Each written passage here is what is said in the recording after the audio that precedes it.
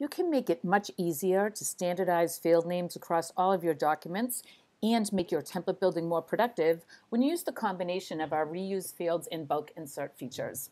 To get started, you would launch one of your Woodpecker templates and then go into the main menu.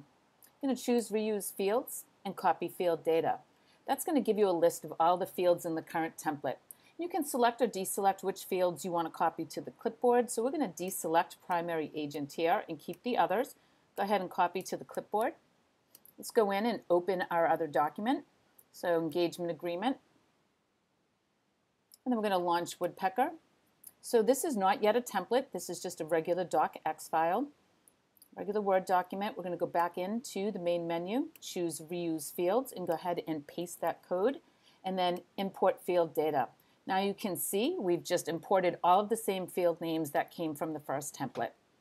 Now the second piece of this is we have to associate these fields to the placeholders in the document. Easiest way to do that is with our bulk insert feature.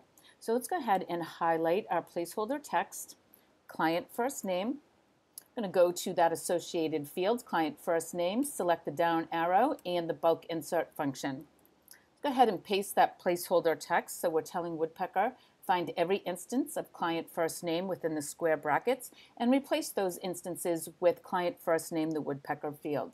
So go ahead and insert. And you can see woodpecker cycling through the document, replacing the placeholder text with woodpecker fields.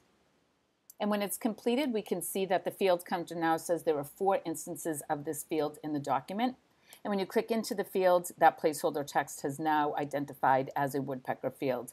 And you would just repeat this process for all of your fields until the document was complete.